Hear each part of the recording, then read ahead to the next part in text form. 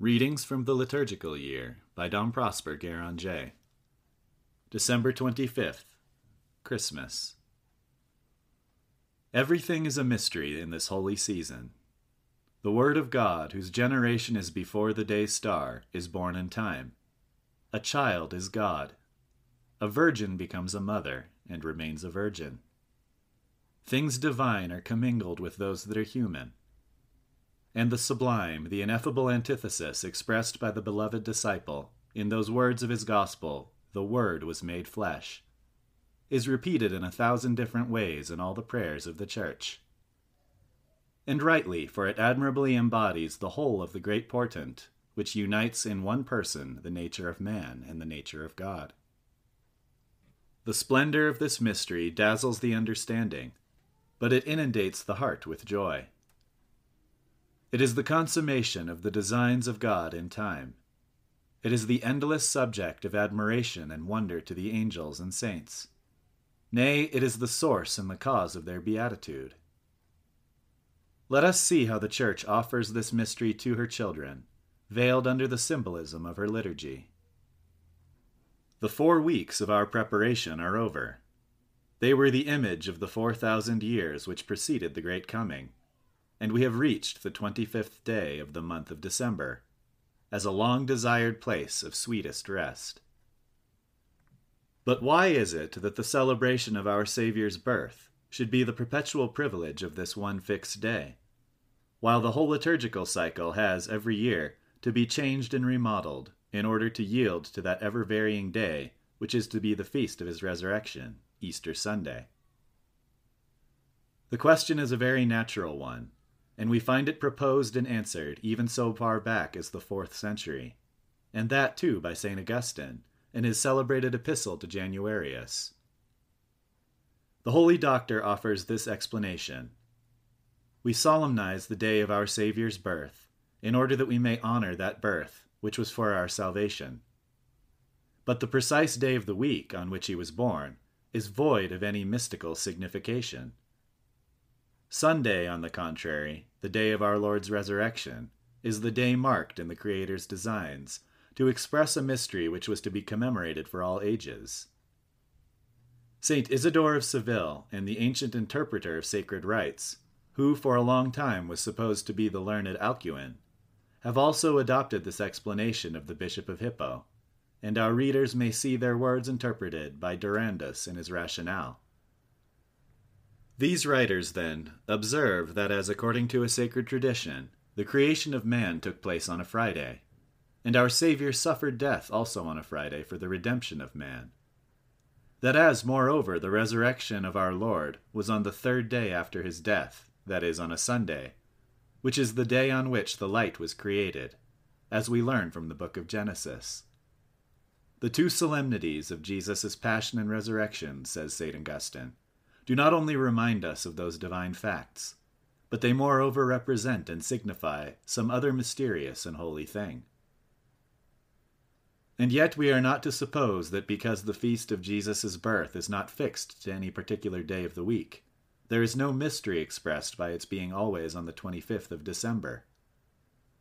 For firstly, we may observe, with the old liturgists, that the feast of Christmas is kept by turns on each of the days of the week that thus its holiness may cleanse and rid them of the curse which Adam's sin had put upon them. But secondly, the great mystery of the 25th of December, being the feast of our Saviour's birth, has reference not to the division of time marked out by God Himself, which is called the week, but to the course of that great luminary which gives life to the world, because it gives light and warmth. Jesus, our Saviour, the light of the world, was born when the night of idolatry and crime was at its darkest. And the day of his birth, the 25th of December, is that on which the material sun begins to gain his ascendancy over the reign of the gloomy night, and show to the world his triumph of brightness. In our Advent, we saw that, according to the Holy Fathers, the diminution of the physical light may be considered as emblematic of those dismal times which preceded the Incarnation. We joined our prayers with those of the people of the Old Testament, and with Holy Mother the Church, we cried out to the divine Orient, the Sun of Justice, that he would deign to come and deliver us from the twofold death of body and soul. God has heard our prayers, and it is just after the winter solstice, which the pagans of old made so much of by their fears and rejoicings, that he gives us both the increase of the natural light and him who is the light of our souls. On this day which the Lord has made, says St. Gregory of Nyssa, darkness decreases, light increases, and night is driven back again. No, brethren, it is not by chance, nor by any created will, that this natural change begins on the day when he shows himself in the brightness of his coming, which is the spiritual life of the world. It is nature revealing under this symbol, a secret to them whose eye is quick enough to see it. To them, I mean, who are able to appreciate this circumstance of our Saviour's coming. Nature seems to me to say, Know, O man, that under the things which I show thee mysteries lie concealed. Hast thou not seen the night that had grown so long suddenly checked? Learn hence that the black night of sin, which had reached its height by the accumulation of every guilty device, is this day stopped in its course. Yes, from this day forward its duration shall be shortened, until at length there shall be naught but light. Look, I pray thee, on the sun, and see how his rays are stronger, and his position higher in the heavens. Learn from this how the other light, the light of the gospel, is now shedding itself over the whole earth.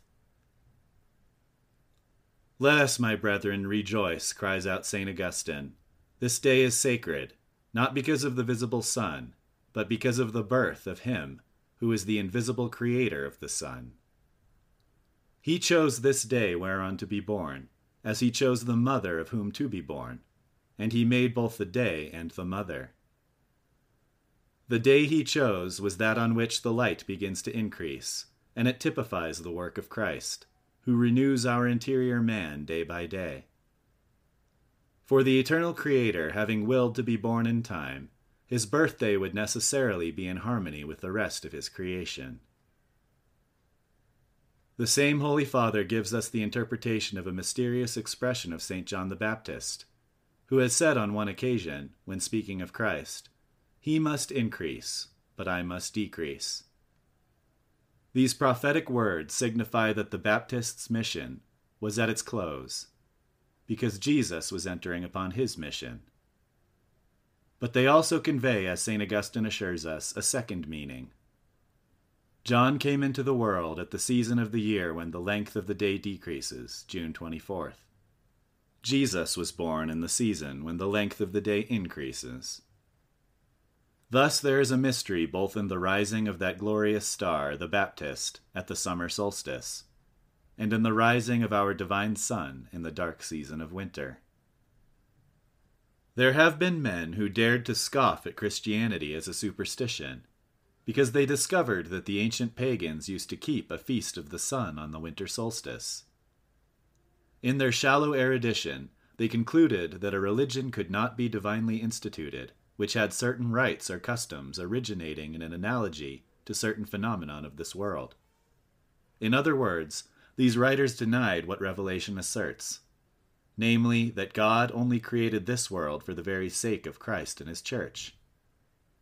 The very facts which these enemies of our holy religion brought forward as objections to the true faith are to us as Catholics additional proofs of its being worthy of our most devoted love. Let us now respectfully study another mystery, that which is involved in the place where this birth happened. The place is Bethlehem. Out of Bethlehem, says the prophet, shall he come forth that is to be the ruler in Israel. The Jewish priests were well aware of the prophecy, and will tell it to Herod. But why was this insignificant town chosen in preference to every other to be the birthplace of Jesus? Be attentive, Christians, to the mystery. The name of this city of David signifies the house of bread. Therefore did he, who is the living bread come down from heaven, choose it for his first visible home. Our fathers did eat manna in the desert and are dead. But lo, Here is the Saviour of the world, come to give life to his creature, man, by means of his own divine flesh, which is meat indeed. Up to this time, the Creator and the creature had been separated from each other. Henceforth, they shall abide together in closest union. The Ark of the Covenant, containing the manna which fed but the body, is now replaced by the Ark of the New Covenant, purer and more incorruptible than the other the incomparable Virgin Mary, who gives us Jesus, the bread of angels, the nourishment which will give us a divine transformation. For this Jesus himself has said, He that eateth my flesh abideth in me, and I in him. It is for this divine transformation that the world was in expectation for 4,000 years, and for which the Church prepared herself in the four weeks of Advent. It has come at last, and Jesus is about to enter within us, if we will but receive him. He asks to be united to each one of us in particular, just as he is united by his incarnation to the whole human race. And for this end he wishes to become our bread, our spiritual nourishment. His coming into the souls of men at this mystic season has no other aim than this union. He comes not to judge the world, but that the world may be saved by him and that all may have life, and may have it more abundantly.